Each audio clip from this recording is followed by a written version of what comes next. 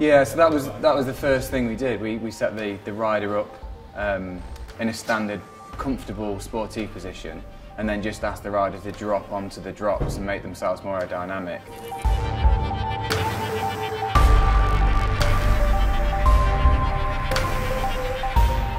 Um, and then the rider had a fit, making it more comfortable, and the, the, the gains increased again as well off the back of that. A few quick changes to position save an additional 21 watts. But the benefits don't stop there. Changing to a visored helmet on a road bike adds 13 watts extra drag, but the same helmet in a more aero time trial position can save 11 watts. So fine tuning your position helps your aero kit work better, as well as saving you energy.